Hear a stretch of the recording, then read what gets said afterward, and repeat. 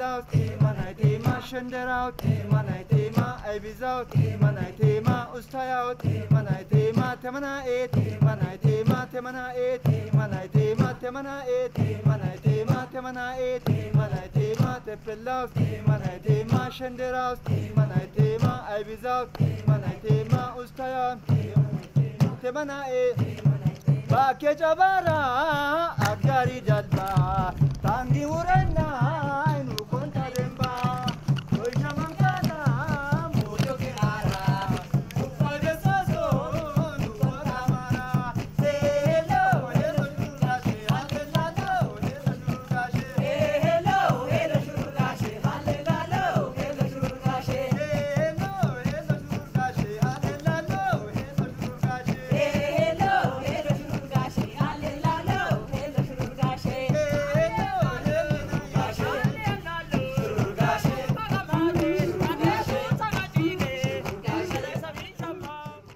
ለዚህ ከንግግር በላይ ለሚታይ ለሚጨበጥ ለሚዳሰስ እለት በጋራ ስለደረስን እንኳን ደስ ያላችሁ፣ እንኳን ደስ ያለን። ሀሹ ሰሮላችሁ ፈልጋለሁ። የኮንታ ዞን በተደጋጋሚ ልገልጽ እንደሞከርኩት ዛሬ ሁላችሁም እንደምታዩት በተፈጥሮ እጅግ የታደለ በጣም ደጋግ የሆኑ ዜጎች ያሉበት ምርጥ ከባቢ ነው። የጨነቀው የደከመው ውጣ ውረድ የበዛበት ያልተመቸው ማንኛውም ኢትዮጵያዊ ወይም ከኢትዮጵያ ውጭ የሚኖር ሰው ወደ ኮንታ ዞን ቢመጣ ካለምንም ጥርጥር በተፈጥሮ ሕክምና አግኝቶ ይመለሳል።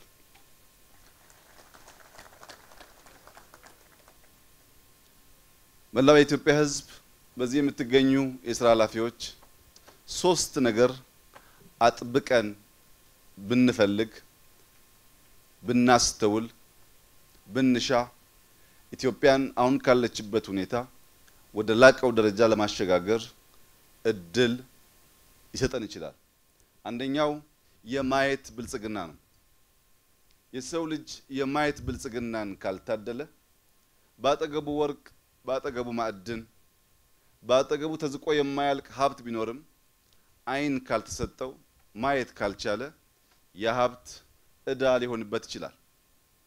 የማየት ብልጽግና እንደ ኮንታ ባሉ ከባቢዎች እንደ ደቡብ ባሉ ከባቢዎች እንደ ኢትዮጵያ ባሉ ሀገራት ውስጥ የሚያስፈልገው እኛ በዚያ አካባቢ የምንኖር ዜጎች የተሰጠንን ጸጋ ማየት፣ ማስተዋል፣ መበርበር ካልቻል ማየት የሚችሉ ሊዝቁት፣ ሊወስዱት ይችላሉ። ብዙ ጊዜ ሰዎች ሀብት ላይ ተቀምጠው የማየት ብልጽግና ባለመታደላቸው ብቻ ሌሎች በቀላሉ ሀብታቸውን ሲወስዱባቸው ይታያል። እጅግ የተከበራችሁ እንግዶች፣ አሁን ያለሁት ከጀርባዬ በሁለት ሶስት አራት መቶ ሜትር ውስጥ ዝሆን የሚታይበት ቦታ ነው። ከፊት ለፊቴ እንዲህ አስደማሚ የሆነ በማንኛውም መመዘኛ እስከ ዛሬ ድረስ ኢትዮጵያ ውስጥ ቢያንስ ቢያንስ ኢትዮጵያ ውስጥ በዚህ ደረጃ አምሮ የተሰራ አንድም ሪዞርት የለንም። ይህን የመሰለ ሪዞርት ይህን የመሰለ ተፈጥሮ አንድ ቦታ ማቀናጀት እንድንችል የመጀመሪያው የሚያስፈልገን የማየት ብልጽግና ነው። ኢማጅን የማድረግ አቅም ከሚታየው ባሻገር እድል እንዳለ ማስተዋል መቻል ነው። ነገር ግን የማየት ብልጽግና ብቻውን ውጤት አያመጣም። ከማየት ብልጽግና ቀጥሎ እጅጉን የሚያስፈልገን የብልጽግና አይነት የመስራት ብልጽግና ነው።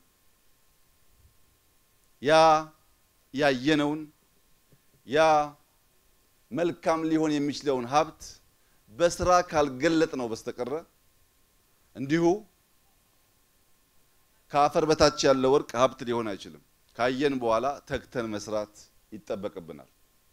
በማየትና በመስራት የኢትዮጵያን ብልጽግና እውን ለማድረግ እጃችን ከሌብነት የጸዳ ልባችን ከክፋት የጸዳ አእምሯችን በየቀኑ ለመማር የተዘጋጀ ፈጣሪን የምንፈራ ለምንናገረው ነገር ፍጻሜ ተግተን የምንሰራ ብንሆን ኢትዮጵያን ባጠረ ጊዜ ውስጥ የበለጸገች ከችግር የወጣች ከመከራ የወጣች ማድረግ ይቻላል።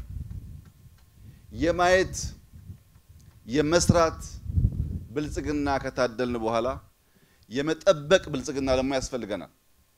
ያ የተሰራውን ማንኛውም ታሪክ የሚጠብቅና የሚያስቀጥል ሰው መሆን አለብን። በዚሁ አጋጣሚ እጅግ ለመወደውና ለማከብረው የኮንታ ሕዝብ አደራ ማለት የሚፈልገው ነገር ቱሪስቶች ወደ ሀገራችን ሲመጡ የኢትዮጵያን ሕዝብ ደግነት፣ የኢትዮጵያን ሕዝብ እንግዳ ተቀባይነት፣ የኢትዮጵያን ተባባሪነት በእጅጉ የሚወዱ ቢሆንም አንደኛ በሰላም እጦት ምክንያት ሀገራችንን በብቃት ማየት ይቸገራሉ። እኛን የማያግባቡን የፖለቲካ ሀሳቢዎች ሊኖሩ ይችላሉ። ነገር ግን ሀገራችንን ወደው የሚመጡ ሰዎች በእኛ አካባቢ እንዳይቸገሩ፣ እንዳይጎዱ ጥበቃ ማድረግ የፖሊስ ስራ ብቻ ሳይሆን የእያንዳንዱ ዜጋ ስራ ስለሆነ የኮንታ አካባቢ ህዝብ እዚህ መጥቶ የሚመለሰው ደህንነቱ የተጠበቀ መሆኑን ማረጋገጥ ቀዳሚ ኃላፊነታቸው ይሆናል። ከዚህ ቀጥዬ በዚሁ በታላቅ ቀን ጥሪ ላቀርብላቸው የምፈልገው በውጭ ሀገር የተወለዱ የሁለተኛ ትውልድ ኢትዮጵያውያንን በሚመለከት ነው። ሁለተኛው ትውልድ ኢትዮጵያውያን ከሚቀጥለው ሳምንት ጀምሮ ከታህሳስ 20 እስከ መስከረም 20 በሶስት ዙር ወደ ሀገራቸው እንዲመጡ ተጋብዘዋል። የመጀመሪያው ዙር connect to your culture የሚል ነው። ባህላቸውን ማወቅ ባህላቸውን መልሰው ማስታወስ እንዲችሉ የገናን በዓል፣ የጥምቀትን ከዚያም ተከትሎ የሚከበሩ የድል በዓላትን ከኛ ጋር እንዲያከብሩ ተጋብዘዋል። ሁለተኛው ዙር ከ AU Summit ጀምሮ እስከ ክረምት መባቻ አካባቢ ያለው connect your history የሚል ነው። ታሪካቸውን በእምነት በባህል በቋንቋ ያሉ ታሪካቸውን እንዲያውቁ የሚያስችል ነው።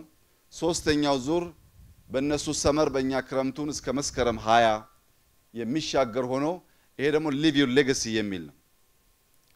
ባህላችሁንና ታሪካችሁን ካወቃችሁ reconnect ካደረጋችሁ በኋላ ሕፃናትን በማስተማር በማልበስ ችግኝ በመትከል በክረምት ስራ በመሳተፍ በትውልድ ሀገራችሁ legacy ያችሁን ተዉ የሚል ነው።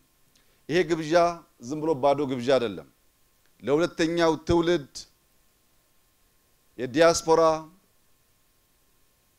ዜጎቻችን ወደ ሀገር ስንጋብዝ የኢትዮጵያ አየር መንገድ፣ ሆቴሎቻችን፣ service የሚሰጡ ተቋሞቻችን በሙሉ በቂ የሚባል discount ያደርጉላቸዋል።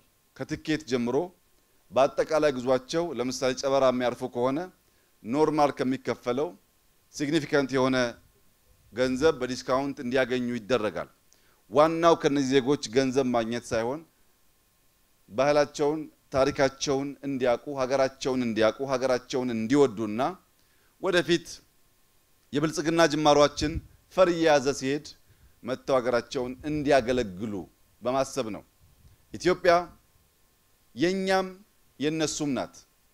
በሩቅ በሚሰሙት በሩቅ በሚወራው ስለ ኢትዮጵያ በቂ ግንዛቤ ማግኘት ስለማይችሉ የሚወራው እውነትም ይሁን ውሸት መጥተው experience እንዲያደርጉ መጥተው እንዲያዩ በራሳቸው መንገድ እንዲያረጋግጡ የኢትዮጵያ መንግስትና ሕዝብ ይጋብዛቸዋል። ሁለተኛው ትውልድ አሁን ሀገሩን የማወቅ ባህሉን፣ ታሪኩን የማወቅ ተግባር ከፈጸመ በኋላ በሚቀጥሉት ዓመታት በዋና ዋና ስራዎቻችን እንደየአቅማቸውና ደረጃቸው የሚሳተፉበት ሁኔታ በግልጽ ፖሊሲ የሚሰናዳና የሚጋበዙ ይሆናል። ይህን አጋጣሚ ለመጠቀም የፈለኩበት ዋናው ምክንያት ጨበራ ጩርጩራ የመጣ ሰው አእምሮ ታድሶ የማሰብ አቅሙ አድጎ ሀገሩን ይበልጥ ወዶ ሀገሩን ይበልጥ አውቆ በእጅ የተሰሩ እጅግ የሚያማምሩ ሸማዎችን ከኮንታ ዜጎቻችን ገዝቶ ለብሶ ሲመለስ ውስጡ መንፈሱ የታደሰ ይሆናልና ይህንን ግብዣ አስቀድመን መጋበዝ የምንፈልገው ለኢትዮጵያ ሁለተኛው ትውልድ ዲያስፖራ ነው።